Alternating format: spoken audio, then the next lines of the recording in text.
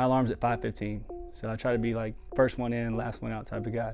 And when I get home at five o'clock, here comes the dog, my little Frenchie. Here comes the, Daddy's home.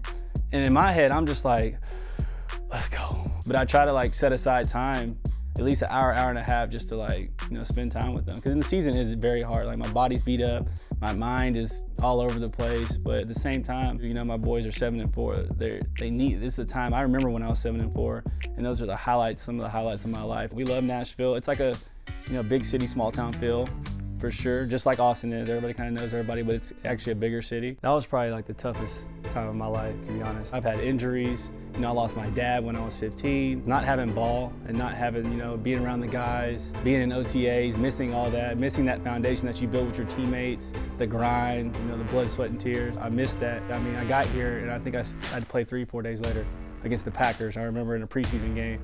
And now it feels like I've been here for like three years. It's, it's, crazy. When you really care about somebody outside the building, that's when I think you take you, you take your game to another level as far as playing for your brothers. You know, going to their baby showers, going to their charity events, like spending time because that, that's a choice you have to do outside of football because you're tired. You know, you invest so much into this building. When you leave the building, you don't want to do anything but you know just chill.